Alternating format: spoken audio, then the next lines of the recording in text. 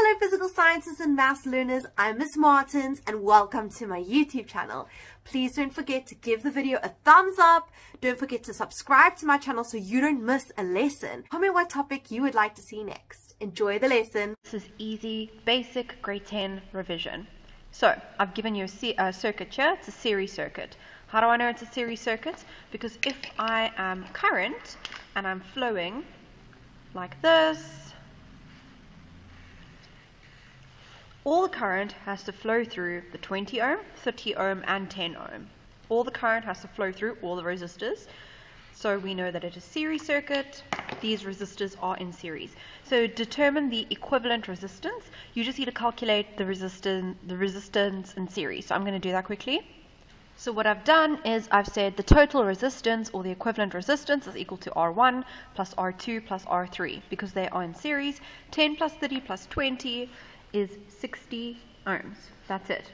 That is the equivalent resistance. There's no, there are no resistors in parallel, so that's it, easy. Then determine the reading on the voltmeter. Now, the voltmeter is connected across the battery. Because the voltmeter is connected across the battery, it's going to be reading the total potential difference essentially. Okay, let me write you a note.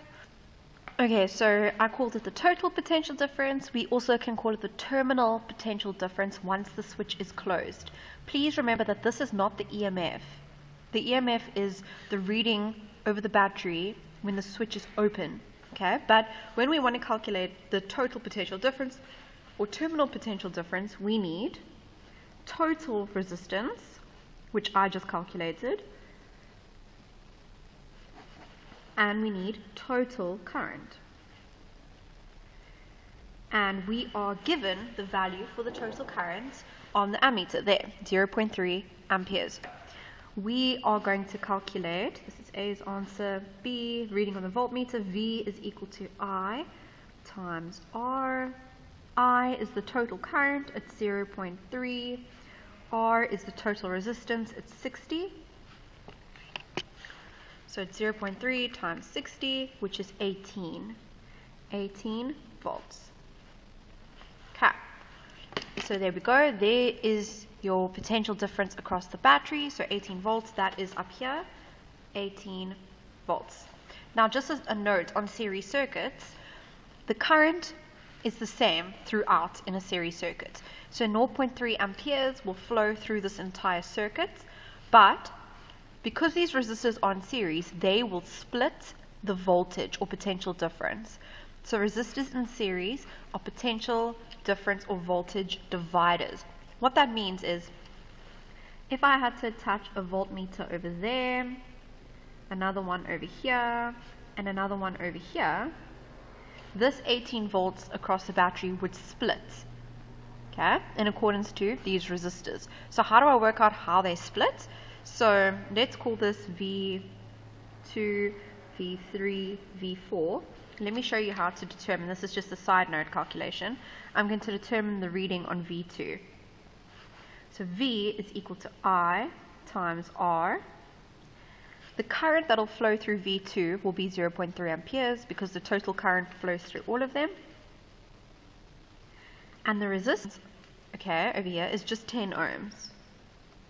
Why 10 ohms? Because this potential, this voltmeter is connected just across the 10 ohm resistor. So we go 0.3 times 10, which is 3 volts. So this voltmeter would measure 3 volts. V3, I'm just going to do all of them just so you can see. V is equal to times R. Again, the current will be 0.3. R in this case is 30.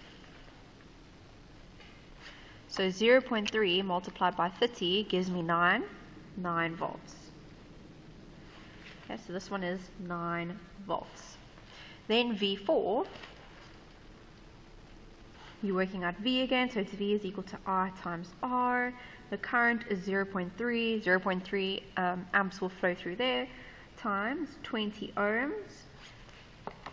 0.3 times 20 gives me 6 volts. So 6 volts. So you just take the current, 0.3, you multiply it by each resistance to get the voltage across that particular resistor. Now if you look, 3 volts plus 9 volts plus 6 volts will give me my 18 volts at the top. That's why we say resistors in series are potential difference or voltage dividers. So the 3 volts plus the 9 volts plus the 6 volts will give me 18 volts. Okay, let's look at a parallel circuit. Determine the equivalent resistance and then they want the reading on the ammeter. They give me the voltage reading across the battery. So let's start with equivalent resistance. These three resistors are in parallel. How do I know? Because current would come, all the current would flow through here and here. When it reaches this point over here, some of it will go that way, some of it will go that way.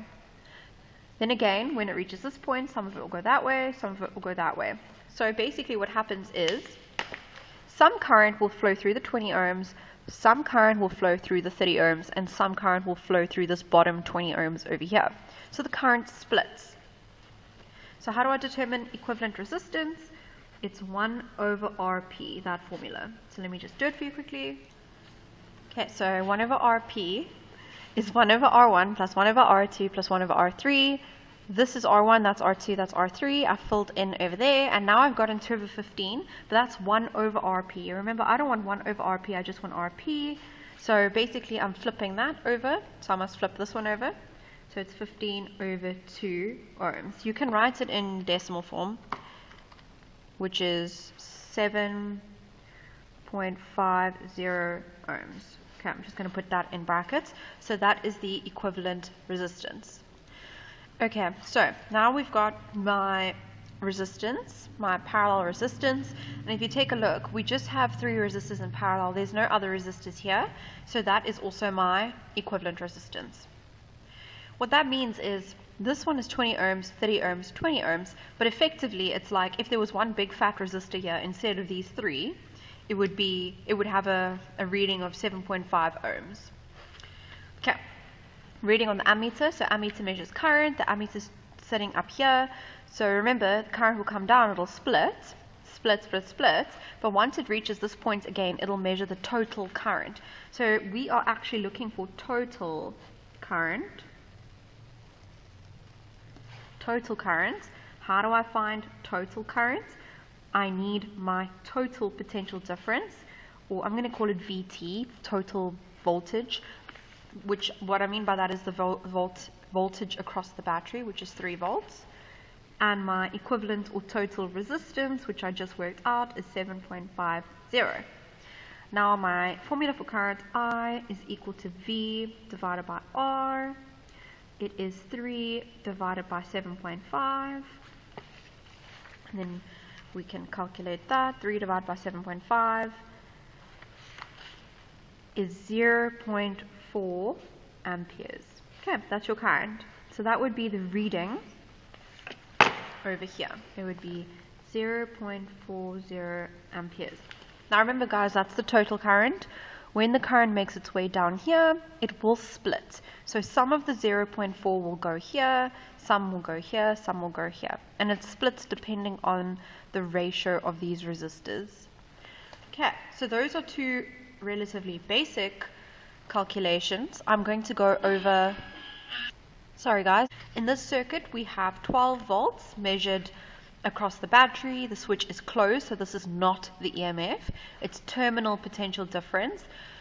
Here we have R1, which is in series, R2 and R3. These are in parallel with one another. As we know, the current will come down. It'll split through these parallel resistors, will join again, and all the current will travel through R1 and back to the battery. Okay, so it says when the switch is closed, the voltmeter reading across the battery is 12 volts, we know that. An ammeter reads a current of 2 amperes. So here, we've got an ammeter, that measures a current of 2A. That's the total current. How do I know? Because this is this little ammeter is over here in the main branch. It's not sitting up here in one of these parallel branches. So this measures total current. It says here, calculate the reading on V2. Now, when we need to calculate the reading on V2, it's the voltage or the potential difference across R1 we need two things. We need, yeah, I drew it over here, we need current, which I have. I told you 2 amperes of current will flow through this resistor. the total current, and we need resistance, which is 4 ohms. So you just put it in your formula, and you'll get a voltage of 8 volts. Okay, so just write it here. This will measure 8 volts. Now remember the total voltage, or the, the terminal potential is 12 volts. 8 volts of the 12 volts will go to this resistor. What that means is the remaining voltage, so 12 minus 8, 4 volts will go to the parallel combination. So if I had to attach a voltmeter over here across the parallel resistors, this voltmeter would measure 4 volts. The 4 volts plus the 8 volts will give me the 12 volts. That's how it works. Then it says calculate the current in R2 and R3. Now there's two ways to do this. The one way is to use a ratio. So we know the total current is 2 amperes. So we can use a ratio to see how the current will split. The ratio of resistor 2 to resistor 3, it's a 3 to 6 ratio. So what I did here is I said the total current is 2A. This will split when reaching the parallel branch. And how will it split? It'll split according to this ratio, R2, R3, with 3 ohms to 6 ohms. I can simplify that to being 1 to 2. So then just as we divided something into a ratio in grade 8 and grade 9, that's what you guys are going to do now. So how do I do that? How do I split 2 amperes into this ratio? Well, you add the parts of the ratio to give you a total, which is 3. Then you go 1 over 3 and 2 over 3. And you multiply these um, fractions by the total current. So I color coded it for you to see. So 1 over 3 and 2 over 3. y over 3 because we're adding the parts of the ratio. And why am I timesing or multiplying both of them by 2? Because that's the total current. So it's like getting a fraction of the total current. This fraction of the total current will flow through the one branch. This fraction of the total current will flow through the other branch. So we've got 2 over 3 and 4 over 3. Which one is bigger? 2 over 3 or 4 over 3? Obviously 4 over 3 is a current. And what you need to remember is when we look at these resistors, the bigger current will go through the smaller resistor. I'm going to say that again. The bigger current will go through the smaller resistor. Why? Because obviously more current will choose the easier path. Just think about you guys. I always use this um, kind of like analogy. Walking through the pathways, are you going to choose the pathway with less resistance or more resistance? Obviously you would choose less resistance. So more currents can flow through the smaller resistor, less resistance. So smaller current will go through R3, the larger resistance, and the larger current will go through the smaller resistor. Okay, you may need to pause, rewind, rewatch that. This is grade 10 work though. Okay, here, it says calculate the effective resistance of the parallel resistors. So I just want you to calculate the overall resistance for these two. They're in parallel, so we need to use the 1 over RP formula. It's 1 over 3 and 1 over 6, so we get 1 over 2, but remember, that's 1 over RP. I just want RP, so you flip the fraction. You get 2 ohms. So the effective resistance of the parallel resistors is 2 ohms. And then what is the total resistance of the circuit? Well, if this, these guys together give me 2 ohms, then it's 2 ohms plus the 4 ohm, because the parallel resistors are technically in series with this resistor. So 2 ohms plus 4 ohms will give me 6 ohms. Then it says voltage across the parallel resistors. So there's two ways to do this. We know that the voltage across R1 is 8 volts. We also know the total voltage is 12 volts. So if the total is 12 and this resistor takes up 8, it means that this voltmeter over here would take up 4 volts. Why? Because 4 plus 8 gives you 12. Remember the splits. So 12 volts is the total, 8 volts goes to R1, and 4 volts goes to the parallel ones. That's the one way to do it. The other way to do it is you can say, okay, the overall resistance of R1 and R2, because they're in parallel, the effective resistance over here is 2 ohms. I worked it out over here, 2 ohms. And the total current that will flow through the parallel resistors is 2 amperes. Because remember, even though the, the current splits, in total, in both branches, 2 amperes will flow. So some will flow up there, some will flow down here, through here. So we know the current is 2, the overall resistance is 2, so we go V is equal to I times R, 2 times 2, which is 4 volts. Okay, and yeah, I just said, notice how the voltage across R1 plus the voltage across the parallel resistors gives you the volt, volt, voltage reading across the battery, 12 volts. I also gave you another way to work out the volt, voltage reading across the battery if they didn't give it to you. You would need the total current and the total resistance. Total current is 2 amperes, total resistance is 6 ohms. So V is equal to I times R. It's 2 times 6, which will give me 12. Okay, so it all works. Okay, let's look at example 2. In example 2, I tell you that the voltmeter reading across the battery when the switch is closed is 30 volts. This is an ammeter connected in series here, so it'll measure the total current. This is R1, R2, and R3 and 4 in parallel. And each of them have a voltmeter attached. Calculate the effective resistance of the circuit. So we have R3 and R4 in parallel. See, they're in parallel. And then we have this one's in parallel, and then we have R2 and R1 connected in series. So you first need to work out the parallel resistance. So we've got 12 ohms and 4 ohms. So how do we do that? 1 over RP, so it's 1 over 12, 1 over 4. Please remember to write your formula first. We get 1 over 3. Remember that's 1 over RP. I just want RP, so that's 3 ohms. So I, I wrote it over here for the grade 10s. The overall resistance for the parallel resistors is 3 ohms. We just calculated that. Then we go 3 plus 2 plus 3 because these are in series with one another. So 3 plus 2 plus 3 gives you 8 ohms in total. Next question says, calculate the reading on the ammeter. The ammeter is connected in series here. It's not in one of these weird branches, so it's measuring the total current. So I need total resistance, which I just worked out. 8 ohms comes from the previous question, and the total voltage is 30 volts. 30 volts. So you go I is equal to V divided by R, 30 divided by 8, so my current is 3.75 amperes. Now remember your unit. Question 3 says calculate the current flowing through R3. So the total current will flow through this branch, through R1, through R2, until it reaches this point over here, where the current splits. So the question wants to know how much current goes through R3. So we can use ratios again. So the total current is 3.75. So 3.75 is going to split. Some of it's going to go here, some of it's going to go here. How it splits depends on the ratio of the resistors. So 12 ohms and 4 ohms.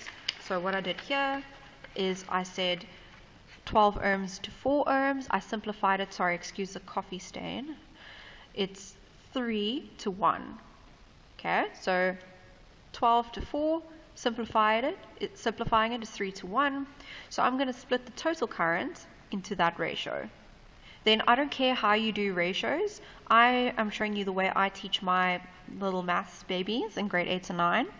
So you add the parts of the ratio, then you go 3 over 4 and 1 over 4, and you multiply by the total current. You get 2.81 blah blah blah and 0.9 blah blah blah. So this is a bigger current, this is a smaller current. Remember the smaller current will go through the larger resistor. So the question asked how much current goes through R3. R3 is a bigger resistor, so the smaller current will go through the bigger resistor. So that is the current. Okay. Next question. Calculate the reading on V2. Okay, so V2, how do I do that? I have the resistance, 3 ohms, and I have the total current. Okay, I have the resistance, I have the total current, so to calculate the voltage, it's V is equal to I times R, there's the current, there's the resistance, and you get 11.25 volts. The next question was, calculate the reading on V3. So here, again, I have the current, it's the total current. I have the resistance, it's 2 ohms. So it's V is equal to I times R, current times resistance, and you get your potential difference or voltage there. Number six, calculate the reading on V4. That's over here. Now remember the, the, the resistance over here, the effective resistance is 3 ohms, and the total current, even though it splits, in total, the current going through here will be 3.75. So total current times effective resistance of the parallel will give you that voltage. Now just note again, this voltage 11.25 plus this voltage 7.5 plus this voltage 11.25 that that and that added together gives you 30 volts okay this stuff should be making a little bit more sense at this point the last two questions are theory questions so what happens to the total resistance of the circuit if R3 breaks? So here, R3 is one of the ones in parallel. If this breaks, I know what you guys initially think. You think, oh, if that breaks, we're getting rid of a resistor. Surely resistance must decrease. But no, think about it. When R3 and R4 are in parallel, overall, this one's 12 ohms, this one's 4 ohms, but overall, their resistance is 3 ohms. If this one breaks, this no longer becomes an option. This branch no longer becomes an option. So all the current must go through R4, which means the resistance now for this section is 4 ohms, not 3 ohms anymore. So actually the resistance increases.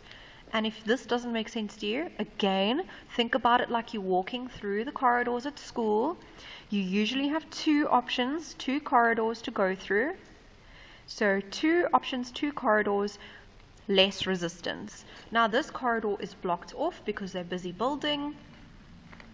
So that means everyone has to go through this corridor. Resistance is going to increase. And just a side note, the question doesn't ask, but if resistance increases, current will decrease. And that's because of Ohm's law.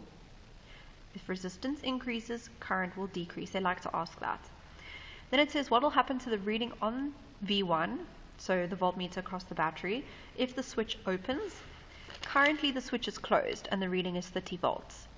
If this opens, the voltmeter across the battery is going to measure EMF, which means that the reading will be higher. Remember, EMF is higher, then you close the switch and the reading drops. So that's basically your answer. There's, there's the answers written out for you. And that's it for this grade 10 revision. You need to understand this before we move on to grade 11 stuff and into